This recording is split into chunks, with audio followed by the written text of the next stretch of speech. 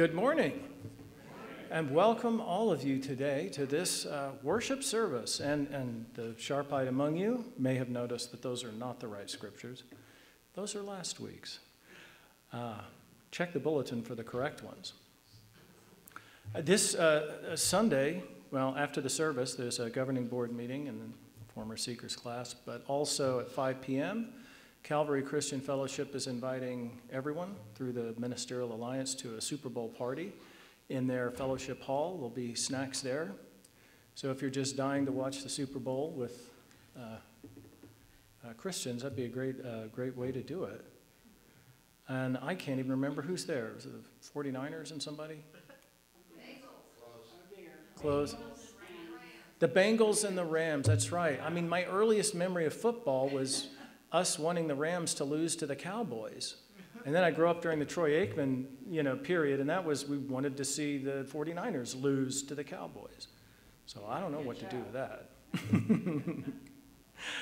uh, yeah, February 14th, that's just tomorrow. That's Valentine's Day, so I hope that's a good day for all of you who observe it. Uh, Wednesdays, we're continuing our Bible fellowship looking at the book of Proverbs.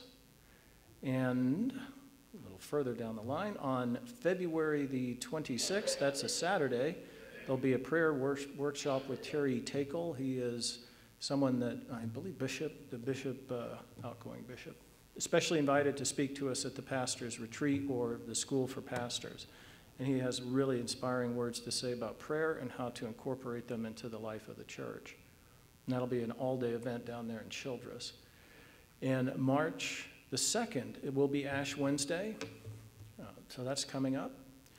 And then uh, March 6th, the first Sunday of Lent, reminder that the Operation Christmas Child donations, we are receiving them throughout the year, any kind of donations really, but each month there's a special focus. So when you're out and about, if you happen to see any accessories, and there's a few pictured there, knickknacks, notions, doodads, extras uh, go ahead and pick them up and you can deposit them in the box in the foyer.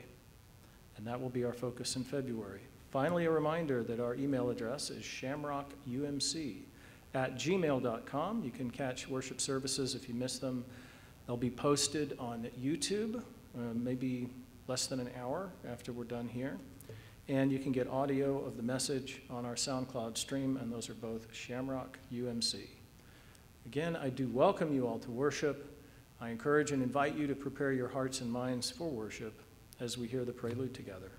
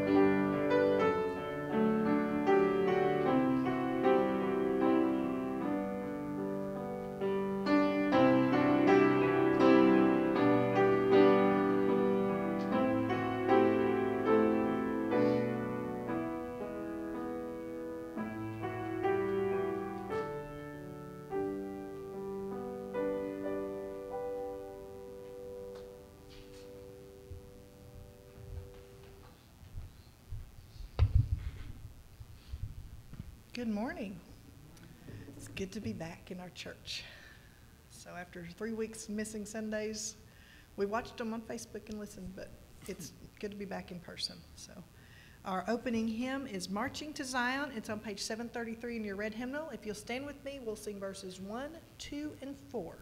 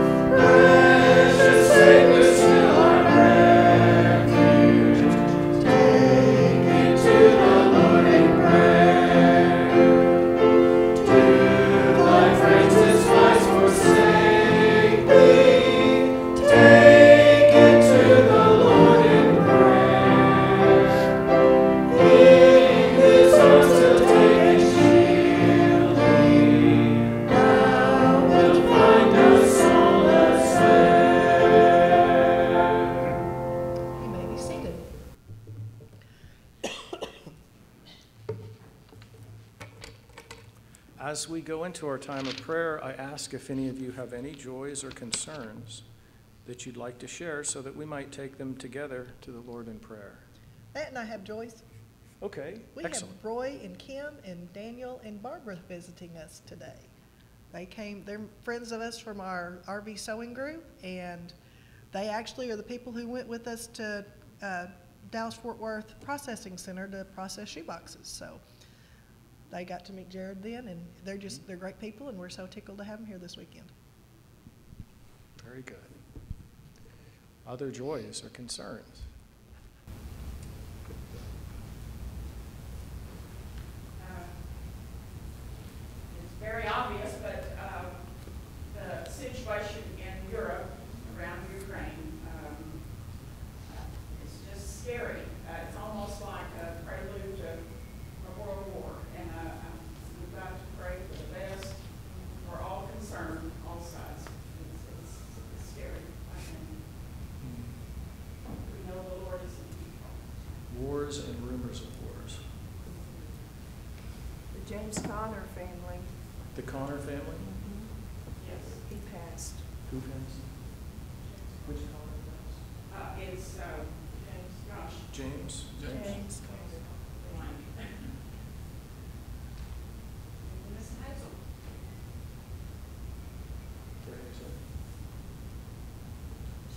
mom. She is?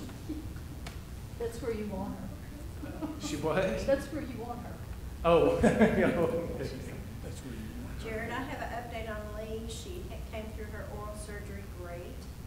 And uh, she's resting today, but she's doing really well. And, uh, praise the Lord. Yeah. And that was four hours long, wasn't it? Yes, it was. Any other joys or concerns? Have a concern for my cousin still, that Dennis Moore is still not doing well. Dennis?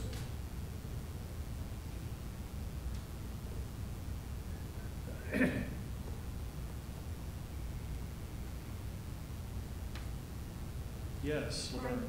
pray for my sister Betty. She's really having a hard time. She was in the car wreck and she's not doing good. All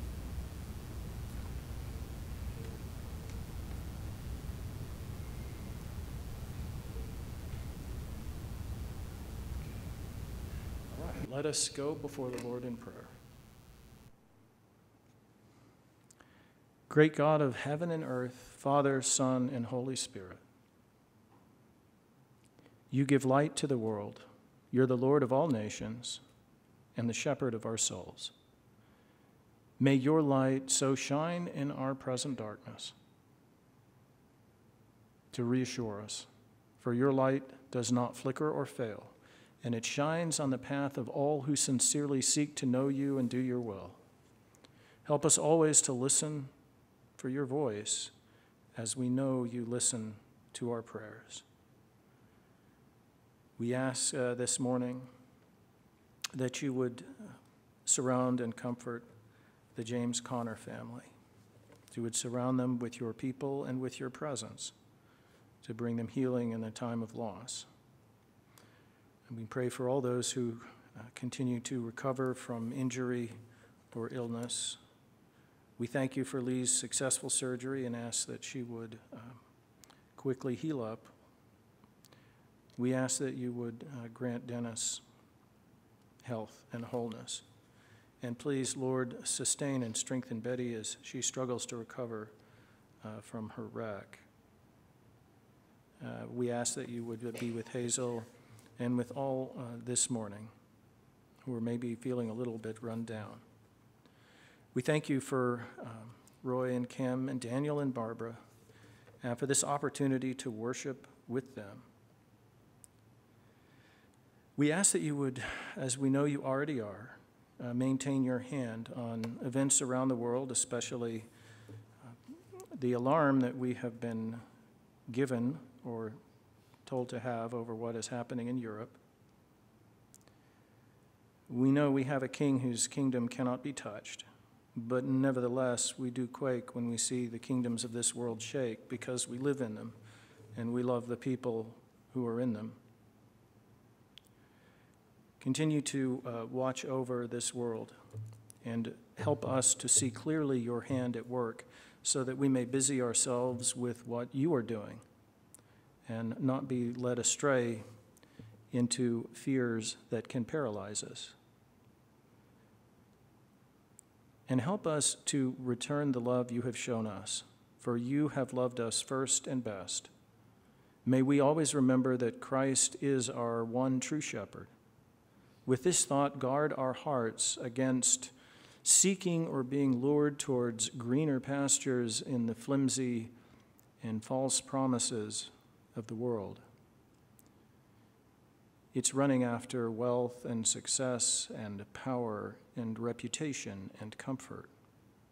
Teach our hearts to be satisfied with the green pastures where the Spirit of Christ, who shepherds us, has led us. And may your rod and your staff rule over our troubled souls, healing the wounds of the past, calming our present fears, and relieving our worries for the future.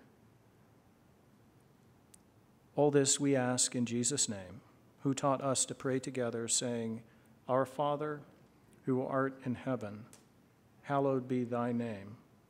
Thy kingdom come, thy will be done, on earth as it is in heaven.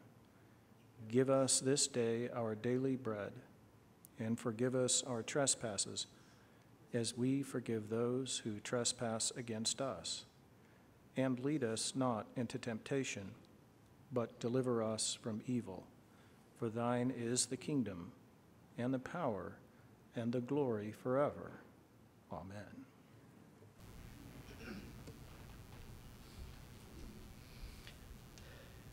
Our hymn of preparation is How Firm a Foundation on page 529 in your red hymnal. We'll sing verses 1, 2, 4, and 5.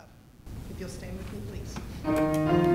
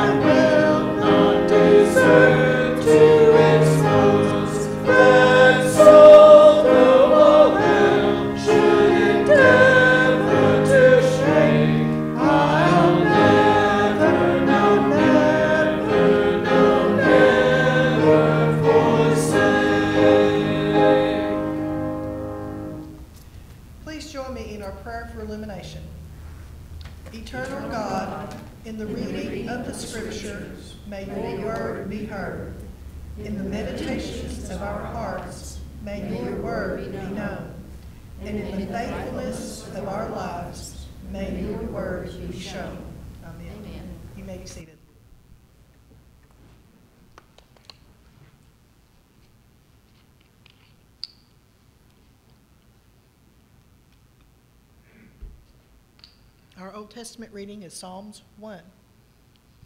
Happy are those who do not follow the advice of the wicked, or take the path that sinners tread, or sit in the seat of scoffers. But their delight is in the law of the Lord, and on his law they meditate day and night. They are like trees planted by streams of water, which yield their fruit in its season, and their leaves do not wither. In all that they do, they prosper. The wicked are not so, but are like chaff the wind drives away. Therefore, the wicked will not stand in the judgment, nor sinners in the congregation of the righteous. For the Lord watches over the way of the righteous, but the way of the wicked shall perish. Our gospel reading is Luke 6 17 through 26. He came down with them and stood on a level place, with a great crowd of his disciples and a great multitude of people from all over Judea, Jerusalem, and the coast of Tyre and Sidon. They had come to hear him and to be healed of their diseases. And those who were troubled with unclean spirits were cured. And all in the crowd were trying to touch him, for power came out of him and healed all of them. And then he looked up at his disciples and said, Blessed are you who are poor, for yours is the kingdom of heaven. Blessed are you who are hungry now, for you will be filled. Blessed are you who weep now, for you will laugh. Blessed are you who, when people hate you, and when they exclude you, revile you, and defame you on account of the Son of Man. Rejoice in that day, and leap for joy, for surely your reward is great in heaven. For that is what their ancestors did to the prophets. But woe to you who are rich, for you have received your consolation. Woe to you who are full now, for you will be hungry. Woe to you who are laughing now, for you will mourn and weep. And woe to you when all speak well of you, for that is what their ancestors did to the false prophets. The word of God for the people of God. Thanks be to God.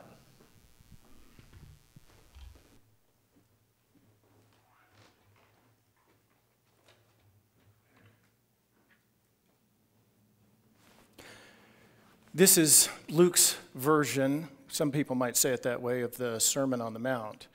Uh, he tells it a little differently and we shouldn't let that bother us because what's important is what both Matthew and Luke are saying is actually going on here.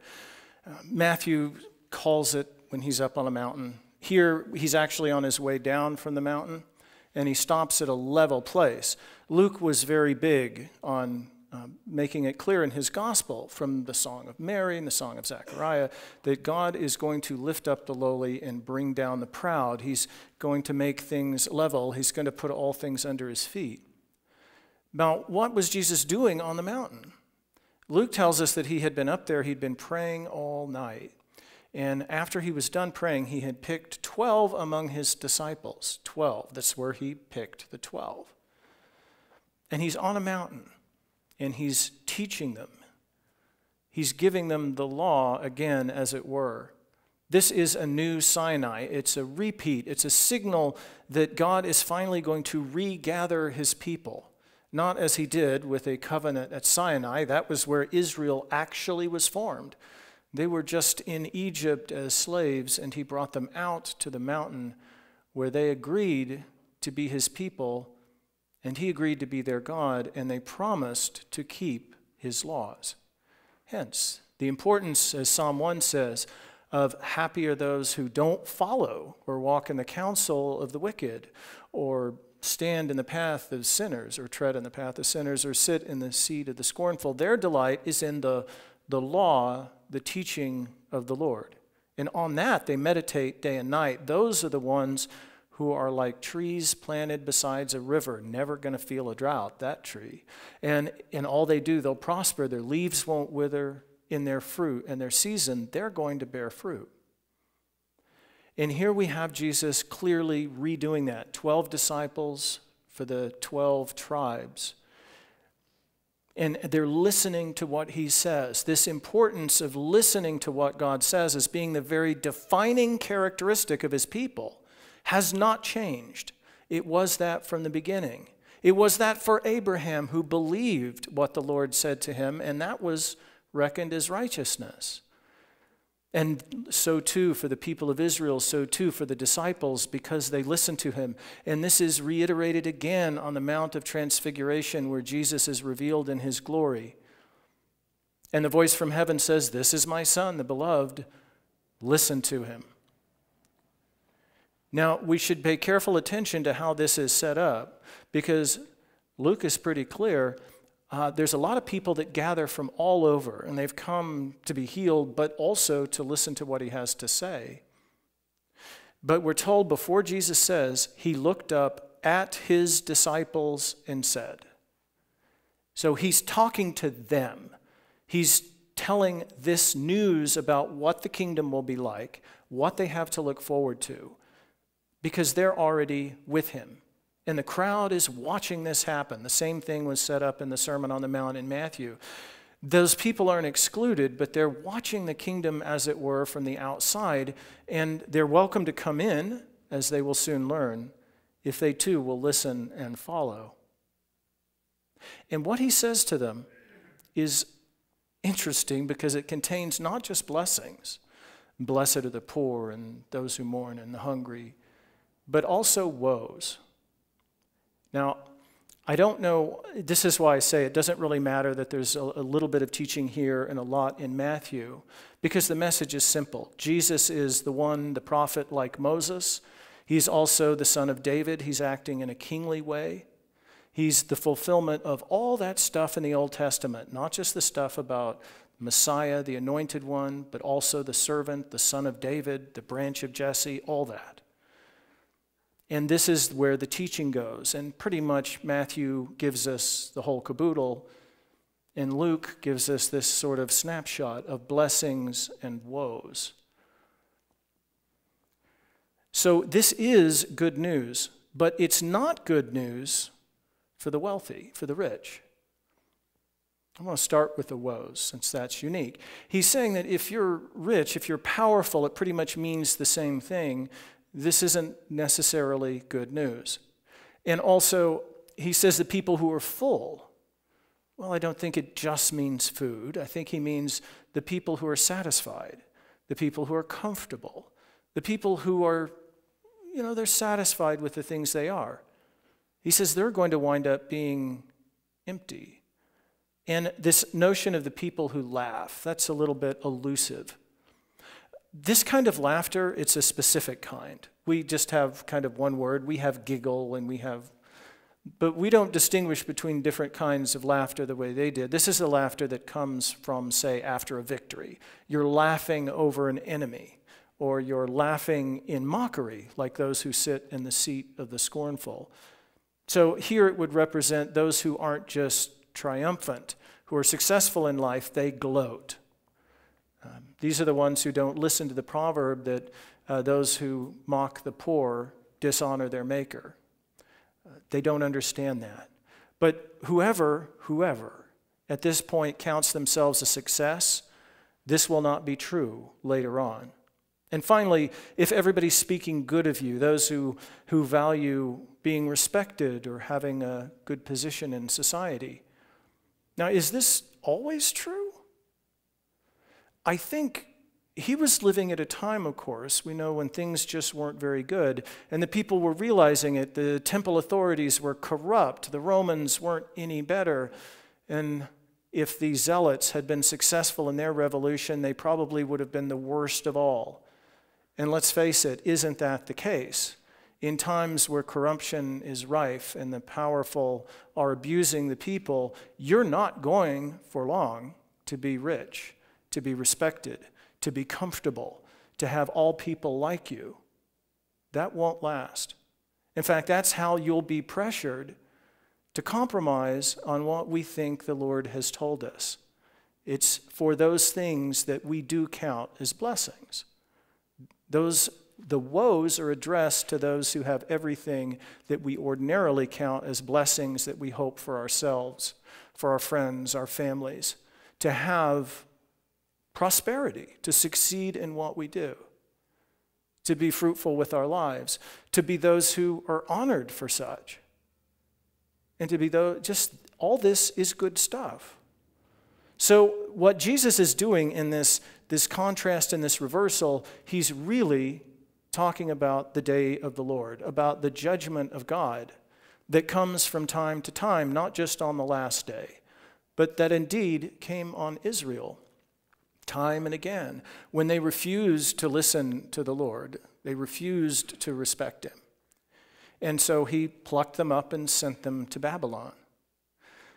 And now Jesus is announcing to those who are gathered around him the kingdom has come and you're a part of it, and he's giving them a heads up. For a while, you're going to mourn. For a while, people will speak ill of you. For a while, you'll be hungry, and not just for food and for a while, you'll be poor. But I think the most haunting of all of the woes that he speaks is Woe to you who are rich, for you have received your consolation. You have what you want. If you count yourselves rich, it means you already have what you want. And he realizes, looking around at not just the lost people, but the leaders and the great, they don't have the Lord. They have no idea who He is. They have twisted their understanding of God to incorporate their idols, just the way that any society or culture can twist its values, or rather, not twist its values, but twist the scripture to fit its values. The people who are satisfied aren't looking for anything else. They won't want what Jesus has to offer, especially since he's telling his disciples that what they look forward to is not the things that the nations and your average person craves. He's warning them you may face persecution, but this juxtaposition of the blessings and the woes is a reminder to them that God's justice is coming. Who's laughing now? It doesn't matter because God will have the last laugh. This first blessing, blessed are you who are poor, for yours is the kingdom of God. Is there something meritorious about being poor? I hear some people talk as though that's the case. Well, again, in a time of great corruption, most of the good, meritorious people are going to be among the poor. But no, he's talking to his disciples. They've left everything to follow him. They don't know whether they're going to get a chance to go back to it. No, there's nothing particularly meritorious in being poor. God simply chooses the poor, He chooses the weak, He chooses the contemptible to bring to nothing the things that the world respects, the things that it idolizes, that even if it doesn't lift up above God, tries to set side by side with Him. This is something that we don't understand about idolatry. God is good, nothing else is. It's very easy to have God be the greatest good alongside other lesser goods. You will have no other God before me. God is the source of every good. And whenever our hearts are distracted, whenever our, our love for God is weakened by the love we have for other things that we imagine as goods existing alongside God, our hearts are falling prey to the same sort of weakness that Israel's idolatry made it prey to. Paul writes to the Corinthians in the first chapter of his letter now, this is a wealthy town.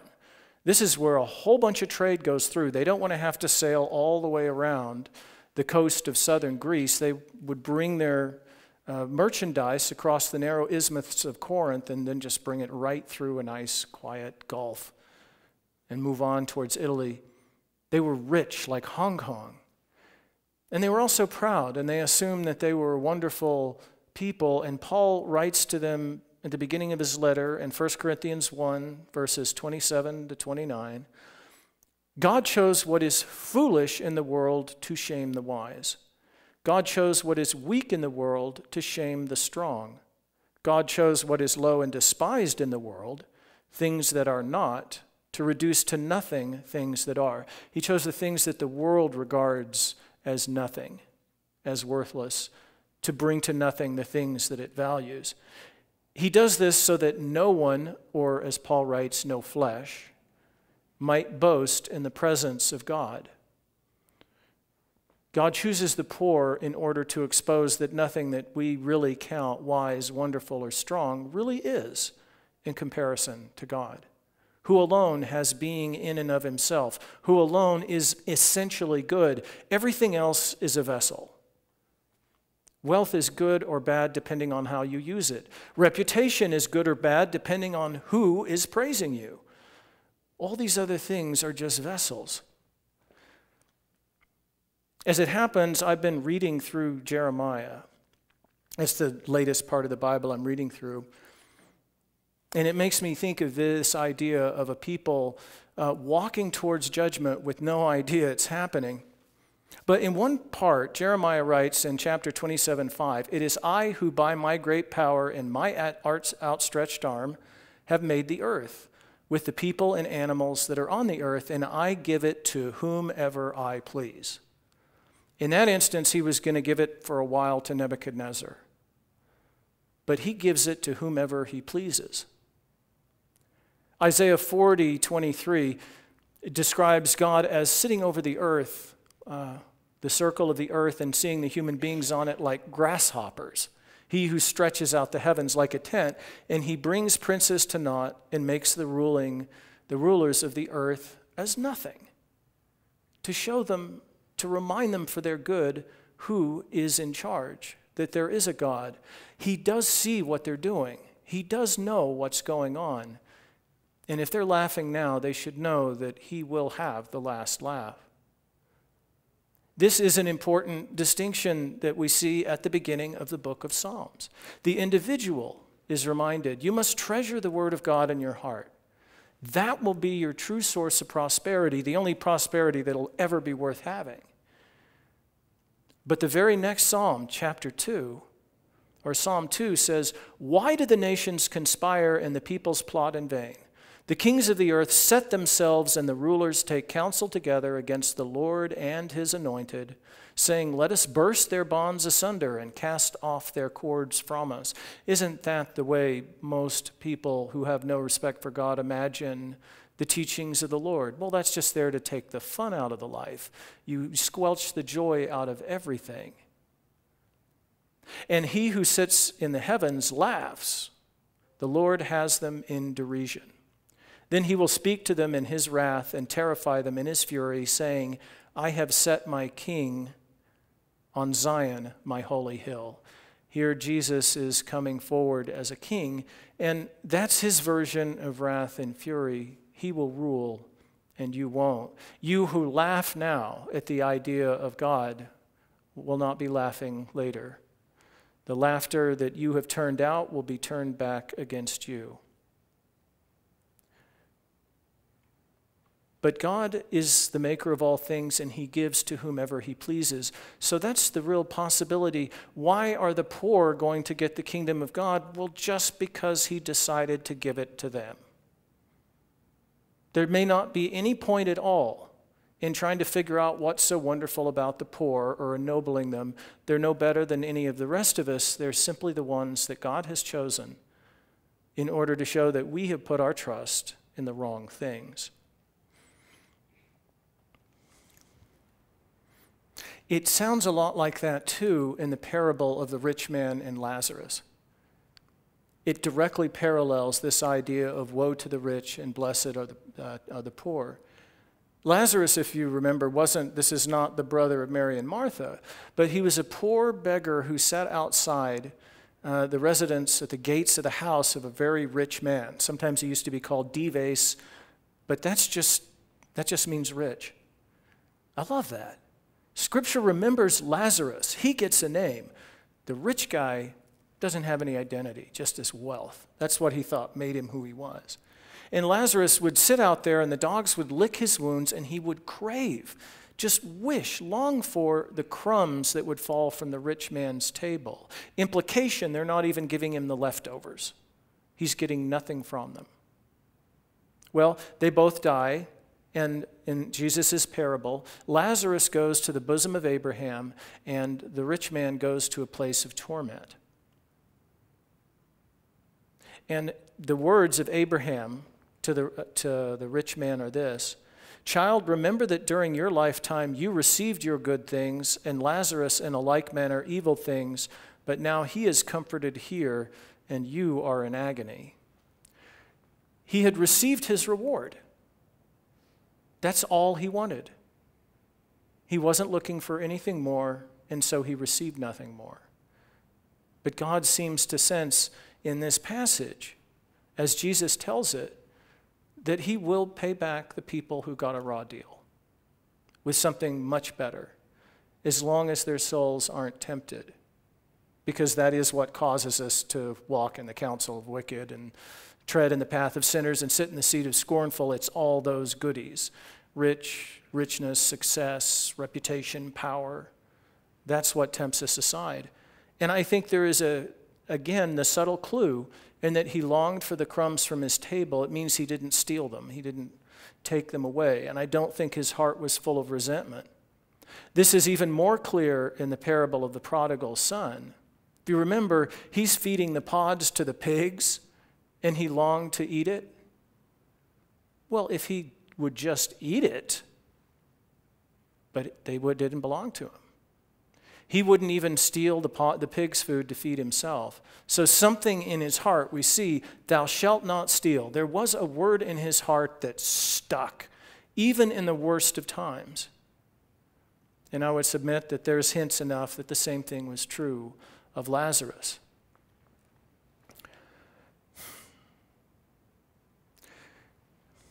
The reason I was thinking of Jeremiah is because just looking at just some of the stuff that's been happening for the last two years, and I'll just mention one thing about it. Some of the policies we've had have absolutely been wicked. They just came out with a study in Johns Hopkins, uh, Johns Hopkins did, that showed that all of the steps they did, the lockdowns, mandates, all that, they can find absolutely zero statistical evidence that it had any ultimate effect. Zero, 0.2%, I think. Nothing. Well, it did have some effect. It certainly hurt the poor. Uh, we know that, uh, in fact, they're right. It did help some people. Um, if you look at a breakdown of who actually wound up dying in the last two years, the people in the laptop class who could lock down, order in their groceries, they did pretty good. About a third as many of them died as the essential workers, the people who were driving around delivering the groceries, the people who were keeping the trains running on time, the people that were essential. They about died at about a number of three times. And of course, the poor, the people who are part of the informal economy, they can't just stay at home. They live hand to mouth day by day from connections. They have to go out. I think one of the worst things I heard was a fellow pastor who's in New Mexico was describing how Gallup, New Mexico was going to shut down the entire city. Well, just for the weekend. I thought, well, what is that supposed to do? She said, no, no, no. They're not going to actually shut down the stores in the city. They're just going to blockade it so nobody can come in and out of it. Again, what good would that do? Well, it's the first Sunday of the month. The Native Americans on the reservations have just gotten their relief check. This is when they would come into town, cash them, and resupply. I thought, really? In this day and age, with all the virtue signaling and the posturing, they don't want those dirty Native Americans and their dirty germs to come into their nice, clean city, even though they need to resupply. Oh, but it gets worse. It gets worse. For us, it's not so bad we can shut down for a while, but what about in this globalized economy? What about the nations further downstream of our economies? We shut down, we print money. Sure, there's a little inflation, we devalue the savings, we leave our kids with higher taxes, but we do fine. The people who were depending on our economies living downstream of them, downstream of them were actually many of them reduced to starvation by the economic dislocation. Economists have estimated that already a quarter of a million children died in Southeast Asia because of that economic dislocation. And what have we done to our own children? They who weren't even at risk, denied an education, denied emotional development by not even being able to see emotions expressed on faces. And it just keeps going. I see a nation that has ground the face of the poor. That, in that sense, some of the measures they took were very successful. They shifted the burden of what was happening from the wealthy to the poor. They are doing exactly what God said He would not overlook. Now, the real message of Jeremiah is understanding the signs of the times. See, he gets two visions when he's wondering, what are we to do about this people? The first time around, God sends him to a potter's house. And he goes and he watches the potter making a pot. He throws the clay on the wheel, and the pot goes wrong. The lip throws off or it tears. If you've ever seen a pot go wrong on a wheel that's spinning, you know that that can happen. And as he watched, the potter picked up the clay, put it together, and threw it on the wheel again and started over. And Paul said to Jeremiah, do I not have the right to do this with Israel? Well, that's encouraging. So, in times of upset, he's perfectly willing to remold his people and to shape them again into a vessel for his service and his use. That's promising. As time went by, uh, in there was parts it's hard to tell if jeremiah or the lord is speaking or both. He wishes that his head were a fountain and his eyes a river so that he could weep all day long for the daughter of my people. Well he changes his tone when he discovers that there were people plotting against him. They said to themselves we don't have to listen to jeremiah anymore. Let's uh, attack him with our tongues. Let's bring false charges against him. Let's destroy his reputation. We'll still have prophets and priests the ones that they loved to hear, that they spoke well of, that Jesus was talking about. We'll still have them, but we won't have to listen to him anymore. Eventually, they threw him into a well of mud. Well, after he learned about that, he suddenly, he's not really praying so much for them, he's praying that God would let them have it. Well, God gave him another vision or another lesson to show to the people. He said, I want you to take a clay pot and smash it in front of the people and say, So shall I do to Israel. So, are we wet clay or are we a fired pot? That's kind of the question. Jeremiah never gave up. At one point, he was commanded to write down all the things that he had, the warnings he was trying to give, and he said, Give it to Baruch and have him read it in the presence of the people when they come to the temple. And they heard it and they were alarmed. It sounded like they were listening. And some of the king's servants heard it as well, and they were alarmed, and they told King Jehoiakim about it. And he said, Bring him in. Bring it in. So they brought in the scroll to the king. Baruch and Jeremiah, meanwhile, they said, Hide out. Anyone who wanted to, to actually speak what God wanted the people to hear was in actual danger, not just their jobs or their reputation. And they took the scroll into the king, and every time they would read a few columns, he would calmly take his penknife, cut it off, and throw it into the fire. It sounds to me like he's experiencing a ruler or leadership where the cries of the poor and the people who want a little justice are falling on deaf ears. And I just keep thinking about that. And then I remember to step away from that world, to remember that we've been invited in, that we're after the cross and after the resurrection. We are his disciples. We're gathered here today. We're listening to his word, and his word is to us Blessed are you who are poor. And blessed are you who see this and mourn. And you'll laugh one day because the King of Kings assures you. Psalm 37 says this Do not fret because of the wicked. That's hard to do as often as we're bombarded with all the bad stuff. But it's very clear. Do not fret because of the wicked. Don't be envious of wrongdoers, for they will soon fade like the grass and wither like the green herb. Trust in the Lord and do good, so that you will live in the land and enjoy security. Take delight in the Lord, and he will give you the desires of your heart. There's the key. Delight in the Lord. Delight in what he says.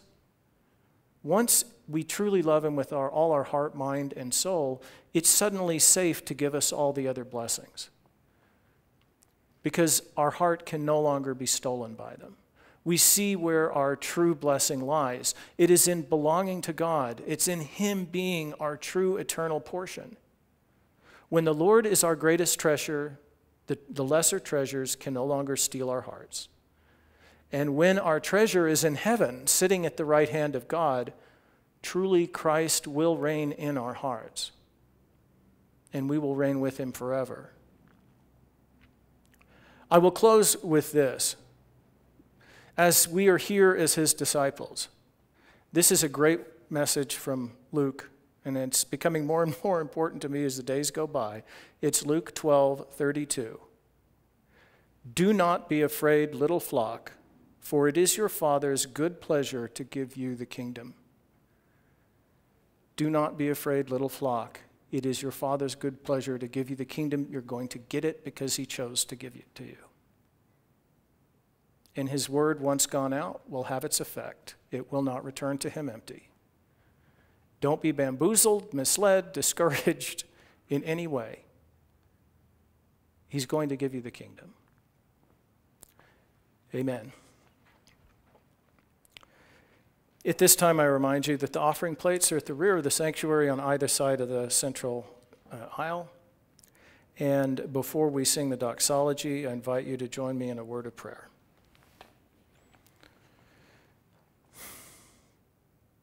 Almighty God and most gracious Father, thank you for being our God. We ask that you would uh, continue to bless us with a vision of your glory. You who give us such beauty in the world and also such love in Christ. We ask that you would now bless uh, these offerings from what you have given us. Use it as you see fit for your kingdom, that others might listen to you, might ignore the false and misleading voices of the rulers of this world, and come to the still small voice of the King of Kings and the Lord of Lords, who is able to truly and forever lift them up. For the privilege and the honor and the joy of being your people, we give you thanks in the name of Jesus Christ. in whose name we also pray and live. Amen.